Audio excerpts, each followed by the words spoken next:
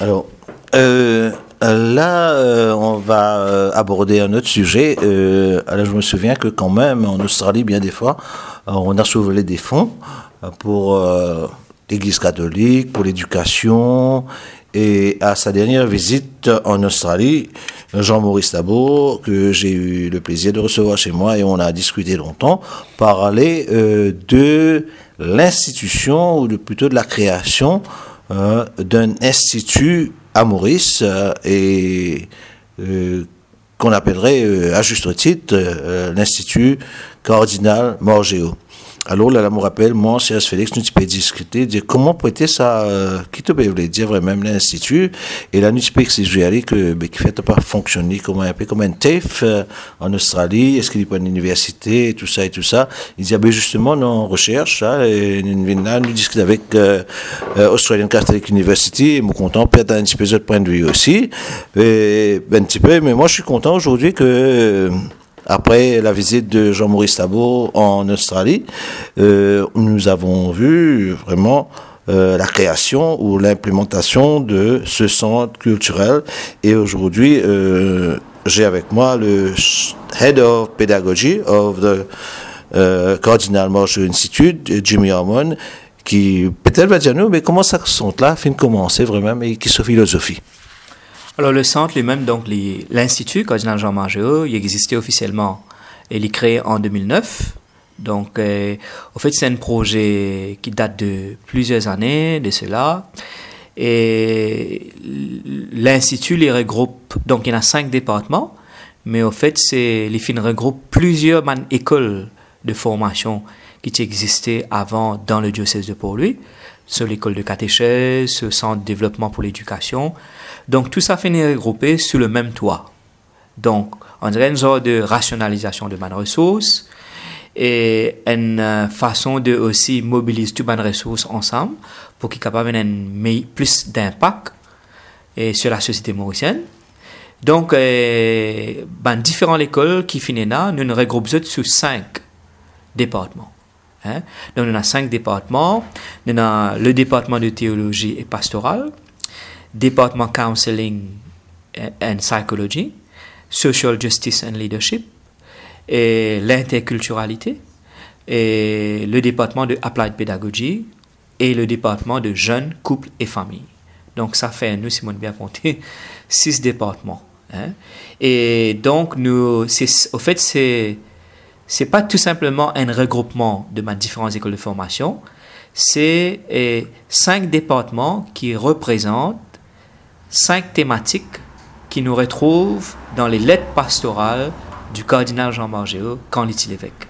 C'est cinq axes dans lesquels l'épiscopat du cardinal Jean Margéo est basé. Hein, la famille, l'éducation, et, et euh, euh, justice sociale, et, bien sûr la théologie, catéchèse, la foi et la politique, et ces cinq départements-là, au fait, nous traversons par sa thématique qui euh, le cardinal Jean Mangeux a abordé et qui donc euh, le premier évêque mauricien, donc euh, surtout après l'indépendance, qui fait une marque, ça c'est une chose très intéressante. Et donc, si nous en direct l'histoire post-indépendance de l'île Maurice, nous avons des grandes figures qui domine euh, la société mauricienne, qui une shape la société mauricienne. Nous avons Sir Sagar Amboulam, et de l'autre côté, nous avons et, donc euh, Monseigneur Jean Margéo, à l'époque évêque, hein, qui est cardinal après. Et le cardinal Jean Margéo, si nous allons lire ce lettre pastorale, hein, et ce lettre pastorale porte la société mauricienne, chaque fois qu'il est a un thème, un, un, un un, thème qui traverse la société, ce lettre porte là. Donc, quelque part, et nous essayons humblement être un peu le garant. Hein, nous là, un peu comme le et porte ça l'héritage du cardinal Jean Et c'est ce que nous s'est démarré. Donc, nous, nous, quand même à nos débuts. Et nous avons un débat à l'orientation de l'institution lui-même. Donc, comment on finit dans, au début de, cette émission-là. Et donc nous traversons un peu par différentes écoles de pensée actuellement, qui sont très riches, enrichissantes. Et il y a, disons, le il y en a qui disent qu'ils venir à l'université, et il y en a d'autres qui disent non, les NPOMP slot, les capables restent une institution qui est à grassroots level, mais qui informe pas mal académiques. Et c'est, peut-être c'est vers ça que nous, nous pouvons aller. De, mon l'impression, c'est vers ça l'aspect-là que nous parlons. Et puis, dans le contexte mauricien aussi, actuellement, nous avons, et, les pas mauricien, mais il a au niveau de l'Afrique, et comment peut-être ban qui dans le domaine capable comme ça.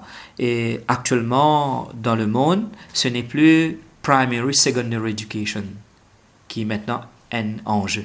Aujourd'hui, nous cause de plus en plus post-secondary education, donc tertiary education. Alors, y a ça aussi comme un, nouvel, un nouveau élément qui peut rentrer, on dirait, comme dans ma discussion au niveau de l'Institut Mais ne pas encore prendre aucune décision à ce jour exactement et qui l'option ne peut prendre. Mais nous plus dans une période de phase de consultation. Et donc, nous, avec, nous avons déjà un contact qui est établi avec certaines universités. Par exemple, avec SCU, nous avons une relation qui date depuis 2000, 90, 99, 2000, qui nous peut consolider.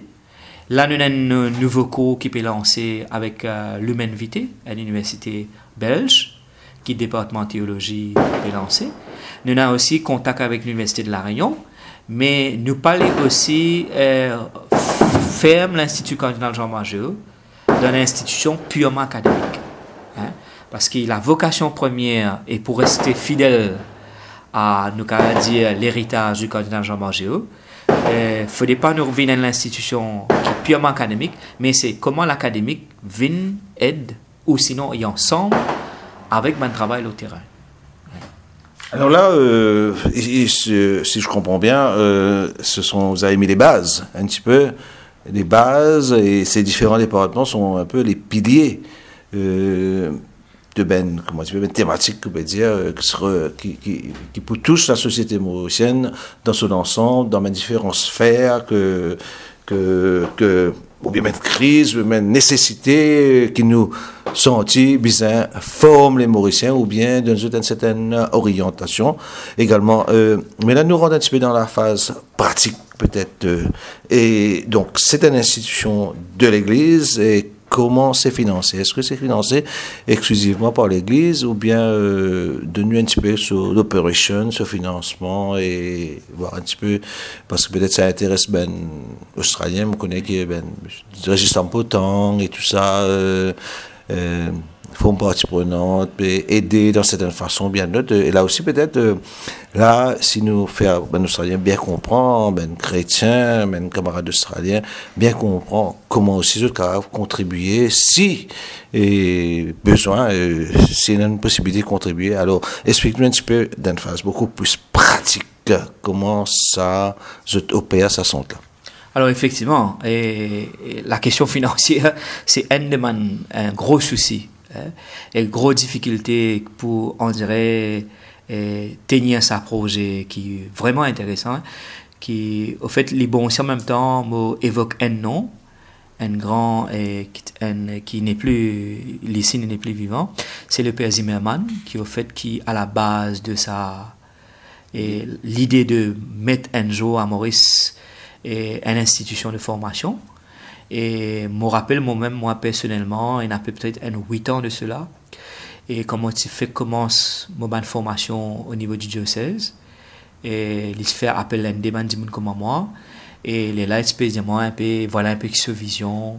Et comment demain, peut-être ça, tu peux intéressant rentre dans la formation. Parce qu'à l'époque, moi, j'étais en collège, moi, j'étais enseignant. Et Liban, on dirait, là, on dirait saluer la mémoire aussi du père Raymond Zimmerman.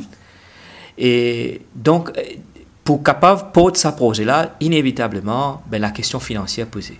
Donc, à ce jour, l'Institut cardinal Jean Margéo, ben, il dépend de la finance l'Église. Donc, quand on dit finance l'Église, c'est ce qui va le paroissien contribuer et, bon, nous couper à gauche, à droite, et puis, bon, un département, et, mais il n'est pas vraiment un soutien financier, c'est-à-dire qu'il vient un peu genre self-financing.